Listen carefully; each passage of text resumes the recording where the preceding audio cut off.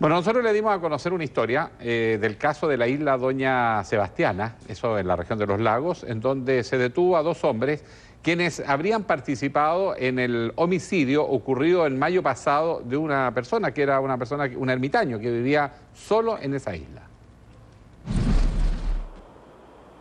Manuel Uribe Cárdenas, de 43 años, era el único habitante de la isla Doña Sebastiana. Llevaba 20 años viviendo solitariamente en ese lugar y conocía todos sus rincones. A pesar de su conocimiento, al hombre no le gustaban las visitas por la isla. Los robos de animales que sucedían en su territorio lo mantenían en alerta, por lo que era receloso con todos los visitantes que se aproximaban al lugar. En mayo pasado, el único habitante de la isla fue hallado muerto en una de sus playas. Rencillas anteriores con dos sujetos de 49 y 19 años lo mantuvieron desaparecido por cuatro meses, lo que provocó que sus familiares denunciaran su desaparición a carabineros.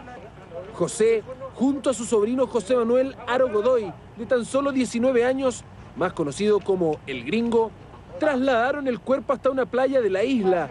En este lugar ambos enterraron el cuerpo y se fueron del lugar sin el menor remordimiento. Este miércoles 19 de septiembre, efectivos de la sección de investigación policial encontraron el cuerpo. Al mismo tiempo, y a solo horas de que se iniciara la parada militar, el menor de los atacantes fue detenido por efectivos del OS-9 mientras se preparaba para marchar. El soldado conscripto proveniente de Quillota, durante el control de detención realizado este jueves en el Centro de Justicia, se le ordenó su traslado inmediato a Maullín, donde fue formalizado este viernes por los delitos de homicidio simple e inhumación ilegal, de igual manera como fue formalizado su tío el pasado miércoles, quedando con prisión preventiva por 100 días, lo que durará la investigación.